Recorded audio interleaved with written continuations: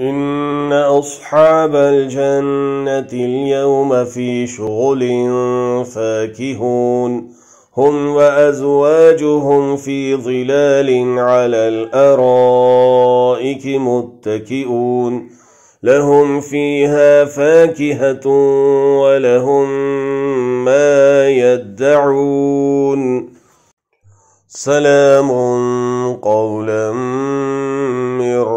رحيم سلام قولا من رب رحيم. بشک اہل جنت آج کے دن عیش و نشاد کے مشغلے میں ہوں گے۔ وہ بھی اور ان کی بیویاں بھی سایوں میں تختوں پر تکیے لگائے ہوئے بیٹھے ہوں گے۔ ان کے لیے جنت میں ہر قسم کے میوے ہوں گے۔